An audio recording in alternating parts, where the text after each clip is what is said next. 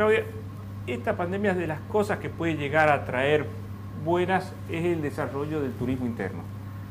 Eh, incluso las agencias de viaje, vos hace muchísimos años la, has tenido, has visto el, turismo del otro lado, casi casi que no le pasaban piola al turismo interno.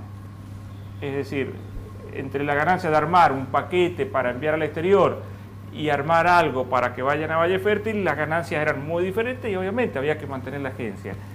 ¿Se va a dar esto de que empiece a crecer en calidad el turismo interno? Sí, tenemos que pensar en dos turismos internos. Primero el que está sucediendo hoy, que de alguna manera somos los sanjuaninos circulando dentro de San Juan, eh, que es un que es una forma. El turismo interno que... que poco ha pasado por las agencias hasta ahora. No, no, y el turismo nacional también tiene esa cuestión. El turismo interno, que se le llama ya en un contexto de interno país, ¿sí?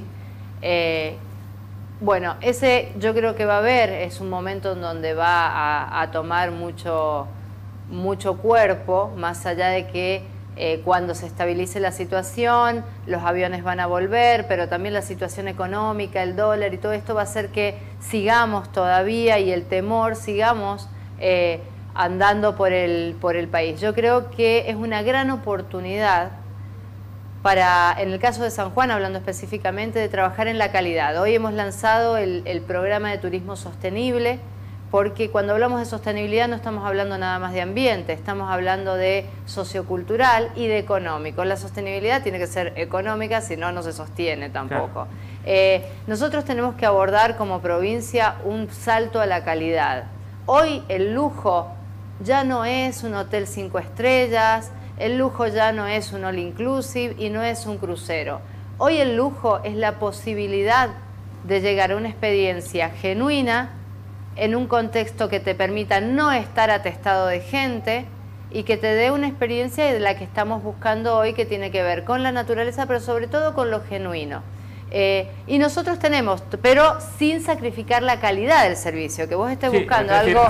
no cinco estrellas, pero hay una base, es decir, en San Juan, que no tenga un buen aire acondicionado, no puede... Exactamente. Eh, a ver, la calidad va a pasar por otro lado, lado, no el glamour, no estamos hablando del lujo ni del glamour, estamos hablando de otra cosa, pero eso no quiere decir que tengas el mejor colchón, la, mejor comida a disposición, sino que se plantea en lugares abiertos y mucho más, eh, no tan montado que le decimos, ¿no? Cuando llegas a un lugar y ves a alguien haciéndote un show eh, de aborígenes y no son aborígenes, ¿no? Entonces vamos a buscar poder hablar con la señora que hace el producto, con la artesana, sentarte a una mesa y poder hablar con la persona que, que está cocinando o ver lo que está o que te cuenten cosas. Esto es lo que se está empezando a buscar, ya se empieza a buscar hace un tiempo, la pandemia lo ha acelerado y tenemos que trabajar mucho en esto porque yo creo que lo que hizo la pandemia fue acelerar algo que ya estaba pasando en lugares como Barcelona, París, donde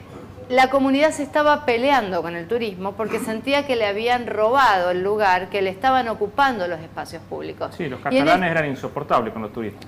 Es que a ver, ¿qué, ¿qué pasa? Si vos estás viviendo en un departamento que te sale 500 euros y te llaman al otro día y te dice discúlpeme o me paga 10.000 euros o se va, eh, y ya los catalanes se tuvieron que ir a otros pueblos, cuando te baja un crucero en temporada alta y, y en un día te bajan 30.000 personas a la misma hora y te caminan por el mismo lugar y no gastan demasiado dinero porque comen arriba del crucero, ¿sí? Eh, bueno, ya hasta el propio restaurante se incomoda. Entonces, creo que acá la diferencia en el turismo es entender que vos no estás comprando un paquete de hierba, no estás yendo a un lugar donde tenés derecho de admisión y te pueden sacar si quieren. Estás yendo a una comunidad que está compartiendo el espacio de vida con vos. Este espacio público que se comparte tiene que ser respetado por el turista, por los empresarios y también tiene que ser un lugar de convivencia donde, por eso la sostenibilidad es esto, es para el éxito turístico ya no es que esté explotado el lugar. El éxito turístico es que ocurra con calidad, con comodidad y con respeto por quien vive ahí. Te estoy abriendo mi casa, te invito a mi casa, tenés que respetar también las normas de convivencia. Eh, ¿Cuál es la realidad de la hotelería de San Juan? ¿Van a poder reabrir todos los hoteles o hemos perdido algunos? Hemos perdido, sin duda, eh, y en todas las líneas, no solamente hotelería, sabemos que incluso en gastronomía, que ha funcionado muy bien, ha funcionado muy bien en capital y alrededores donde el sanjuanino sale. Pero si te vas a lugares más alejados como Calingasta, Iglesia, que quienes van a los restaurantes son los turistas, realmente ha habido un castigo enorme en esos lugares. Han habido caídas... ¿Cuándo se va a abrir la ciudad al, turismo interno? ¿Cómo? ¿Cuándo se va a abrir la ciudad de San Juan al turismo interno? No, está Porque creo que igual que van sanjuaninos de la ciudad al interior, pueden venir del interior a la ciudad, ¿no? El turismo urbano, que es el turismo de San Juan Capital y de Bácer de Cava y todo esto, tiene que ir comenzando cuando yo creo que va a ser el transformar el miedo en cuidado. Yo creo que el turismo tiene una gran tarea que es nos va a ayudar a enseñar y a cuidarnos y transformar este miedo en, en esto que comenzó, al comienzo del, del programa lo decías, eh, vamos a convivir, tenemos que aprender y, cambiar este temor al cuidado. Pero el cuidado va acompañado del respeto, del respeto a las normas, de respetar al otro, de no porque yo me voy a, relajar, me voy a sacar el barbijo o voy a ocupar grandes espacios. Entonces, esto realmente es una gran docencia que tenemos que hacer. Y sí, el turismo urbano está planteado, lo estamos hablando incluso a nivel nacional con AOCA, que es donde es la asociación que conglomera a los organizadores de eventos. Se están hablando de eventos híbridos, se están hablando de que los hoteles ya no van a tener los congresos de 3.000 personas, dermatólogos y, y, tener llenos, sino empezar a hablar de congresos más pequeños apoyados por la tecnología y repensar también el turismo urbano. Ahora, estoy segura que más allá de que estamos hablando en esta etapa del turismo de naturaleza, no va a quedar ahí porque la mayor cantidad de oferta turística, gastronómica, hotelera, está en las grandes ciudades.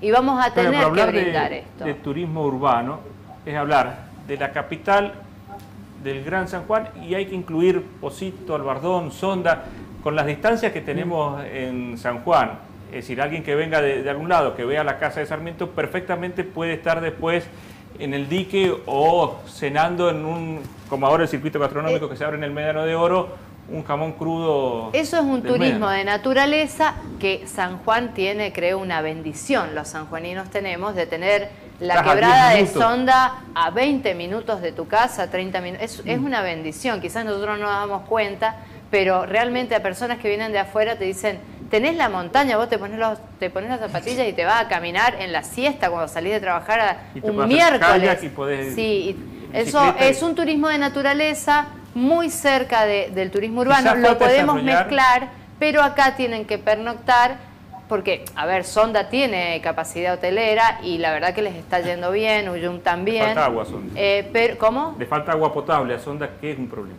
Y bueno, esto es un tema que, bueno, en este sentido el turismo realmente es un apoyo, porque el turismo ayuda a apurar estas cosas. Lo estamos viviendo ahora con... Eh, con y la difunta Correa igual, el tema de agua se ha acelerado un montón también por la situación y el turismo en este sentido lleva desarrollo y ayuda a la comunidad a brindarle calidad de vida. Pero vuelvo a decir, creo que hay que buscar el equilibrio y el respeto. El turismo urbano también no va a ser tampoco como estábamos acostumbrados, pero tiene que comenzar porque está la mayor cantidad de oferta aquí. Así que los eventos híbridos pueden ser una opción. Lo que falta porque San Juan, incluso el turismo cultural de San Juan, la oferta cultural para el turismo de San Juan es muy buena.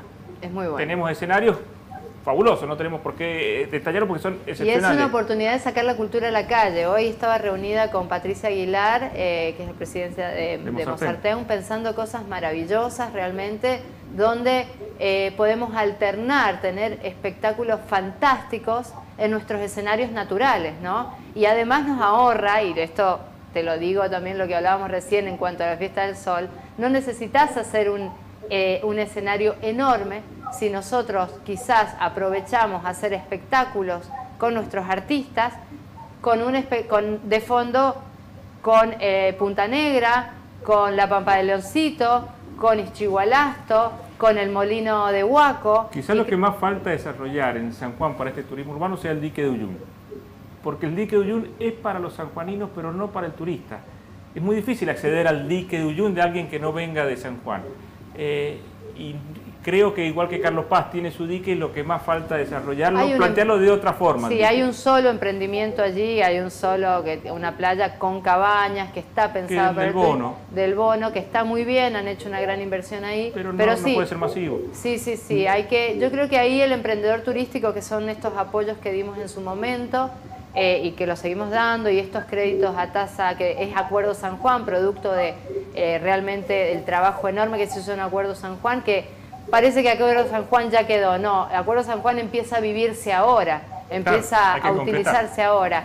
Yo creo que con estas herramientas hay paradores, hay playas en Uyum que te están alquilando y que están enseñando a hacer windsurf, que son una oportunidad para el turismo. Hay, hay algunos emprendedores muy interesantes. ¿Puedo hacer una pregunta interesada? Diga.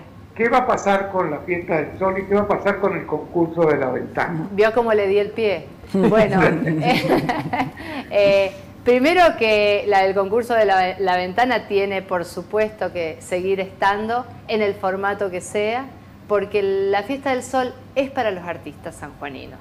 Y, y si tenemos que generar algo de fiesta del sol este año, que olvidémonos del formato que mm. hemos tenido, pero si se tiene que generar algo, tiene que generarse para activar el sector artístico y el sector cultural, que incluye la técnica la economía naranja que es Las economías de las industrias creativas, o sea, el máximo exponente, exponente de las economías eh, creativas, de la economía naranja, es la fiesta del sol. Lo hemos probado, lo hemos visto cómo trabajan. Bueno, creo que yo le voy a tirar una cuestión que venimos hablando, ¿por qué no, en vez de un evento masivo, por qué no un mes donde hablamos de la fiesta del sol dividido, apoyando a los elencos de, ballet, a los artistas de los municipios, generando pequeños escenarios que visibilicen también turísticamente a la provincia y que podamos diversificar en un mes pequeños eventos que no sean aglomeraciones con streaming